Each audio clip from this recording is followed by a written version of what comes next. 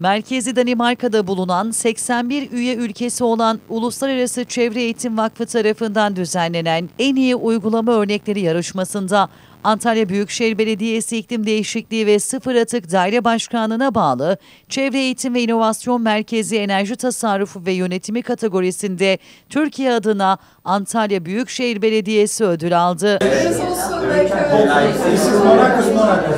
Ödülü vermek üzere Malta'dan görevlendirilen heyet Antalya'ya geldi.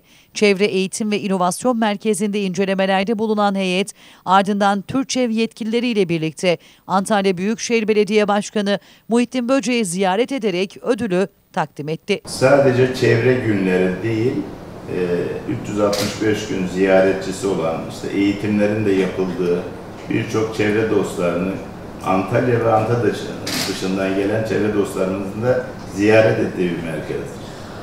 E, Ayrıca şimdi sizlerden e, alacağımız aynı yerle ilgili ikinci ödülümüz bizim için çok büyük bir e, onur. E, bu anlamda jürilerimize ve sizlere bir çevre dostunuz olarak da çok teşekkür ediyorum. And Dünyada en iyi örnek uygulamada alınmış olması çok önemli.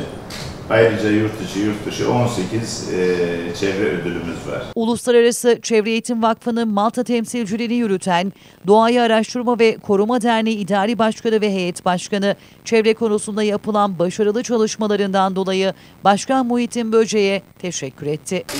Nice